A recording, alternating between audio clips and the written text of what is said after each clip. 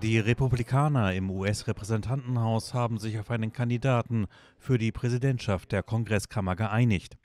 In einer Wahl hinter verschlossenen Türen nominierten sie am Mittwoch den 58-jährigen Steve Scalise.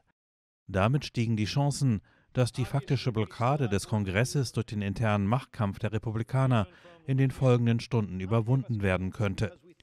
Bis zur Wahl eines neuen Vorsitzenden ruht die Arbeit in der Kammer. Entsprechend können die USA etwa Israel keine zusätzliche Hilfe im Gaza-Konflikt zukommen lassen. Der bisherige Speaker Kevin McCarthy war am 3. Oktober in einem internen Machtkampf von erzkonservativen Parteikollegen gestürzt worden. Diese straften ihn ab, weil er auf die Unterstützung der Demokraten von Präsident Joe Biden zurückgegriffen hatte, um einen Etatstopp abzuwenden. Scalise sitzt seit 2008 im Kongress. Er überlebte 2017 einen Schusswaffenangriff nur knapp, gilt jedoch bis heute als starker Verfechter eines liberalen Waffenrechts.